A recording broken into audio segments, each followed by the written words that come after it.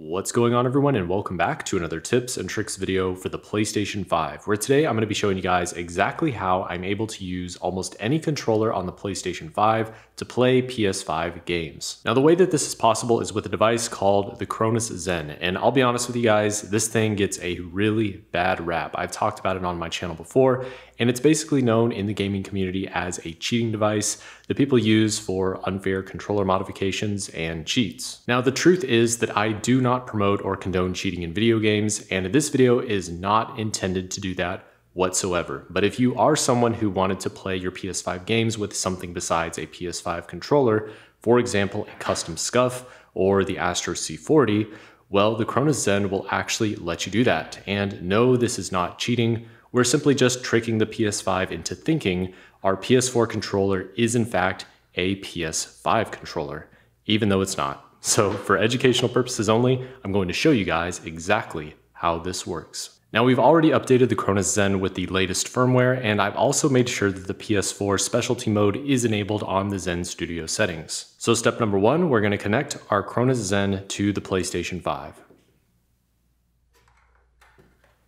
And then we're going to connect our Astro C40 to the A3 port. And then we will need a licensed third-party specialty controller like the Hori PS4 MiniPad to donate its license through the Cronus Zen for this to work. And the donor controller will be connected to the A1 port on the Cronus Zen. And that's it. It is literally that simple. And now, as you guys can see, I am in fact able to play PS5 games like Demon's Souls on the PlayStation 5 while using the Astro C40 controller for PlayStation 4. So now you know, the truth is that these so-called cheating devices like the Cronus Zen can actually have some legitimate uses for things other than, well, cheating.